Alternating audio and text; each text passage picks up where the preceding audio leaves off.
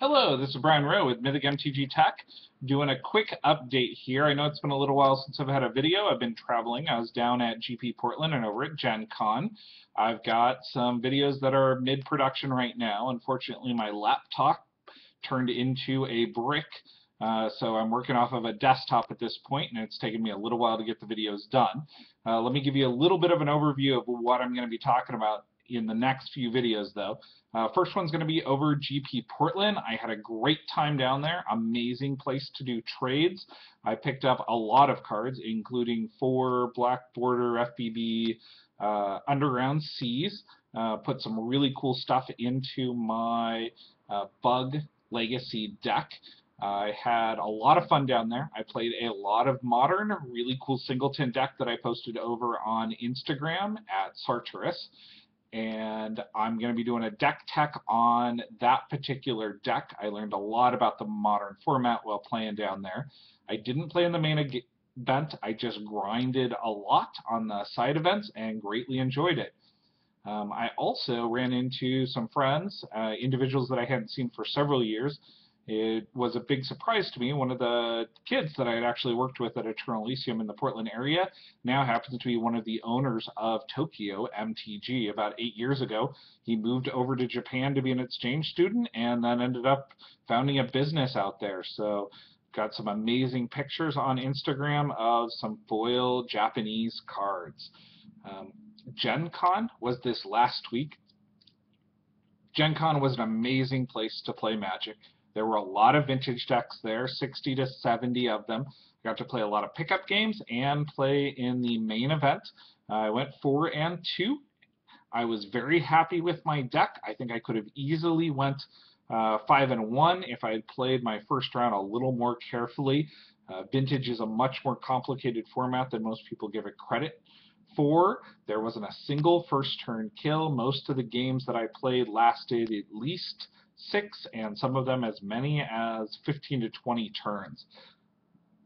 I was playing a bug tempo deck, which I've done a deck tech for. I'll throw a link to that here in the About section.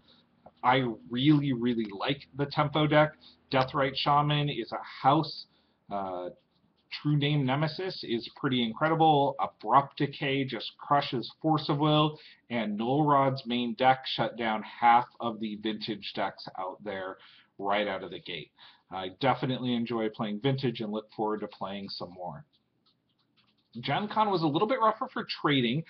Why? Because the dealers had incredible stuff at rock bottom prices. Cash is king at Gen Con. Most of the boosts that I saw had things at 10 to 20% less than I've seen them anywhere, including at GPs. There were incredible deals out there to be had. You could even trade things in at solid amounts of credit to pick up cards. Dual lands were all over the place. Alpha and beta cards were pretty easy to find. FBBs were very easy to find. Uh, played a lot of board games while I was out there also. The two favorites for me were Five Tribes and Imperial Settlers.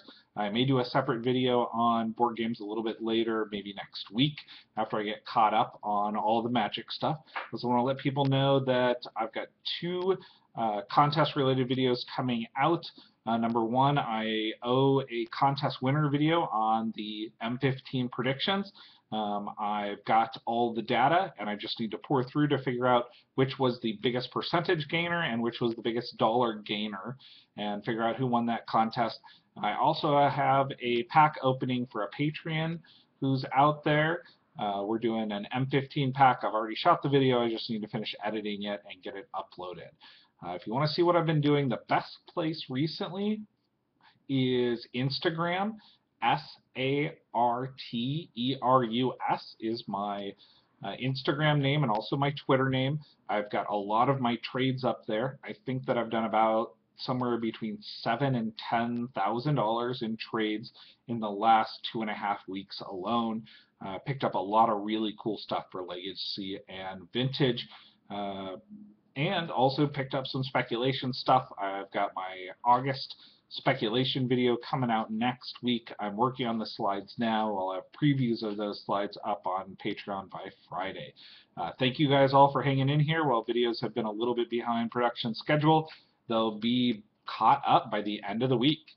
Take care.